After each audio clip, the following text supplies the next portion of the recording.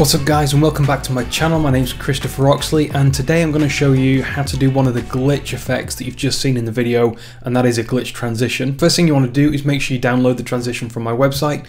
Go to christopheroxley.com, there's a link in the description box below, make sure you download the free glitch effect transition and install it into Final Cut Pro. If you don't know how to install things into Final Cut Pro, I do have a video. There's a link in the description box below. I've got two clips here and an adjustment layer.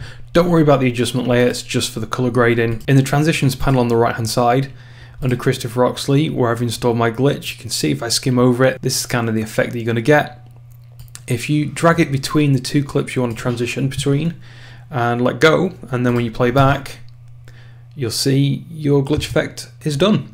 Now, you'll find that as it is, it's probably a bit too long for most most purposes. So if you drag one of the handles at the side, it'll actually lengthen and shorten the clip accordingly. So if you want it much much faster when you play it back, just done.